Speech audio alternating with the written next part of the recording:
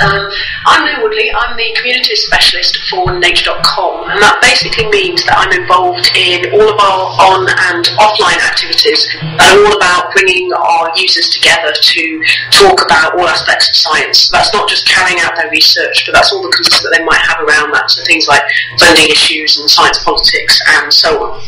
So I thought what I'd do by way of introduction is just give you a very brief overview of some of the projects that I'm currently working on and then um, I understand, you know, we want to expand this out to be a wider conversation afterwards, but at least you get the background context of um, where my expertise is.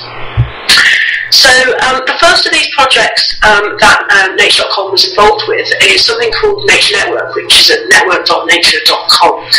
And this is Nature's social networking site, which was founded just over four years ago. And at the core of the site are science blogs, which are written by scientists, primarily for other scientists. We also have a collection of groups and discussion forums where people can come in and talk about scientific research or specific, specific topics that they'd like to get or share advice about. Geographical hubs. So these are locations, uh, Boston, New York and London, which have their own dedicated kind of microsite within Nature Network itself. So they get a blog, there's also a discussion forum, and there's listings of jobs and events in that particular local area.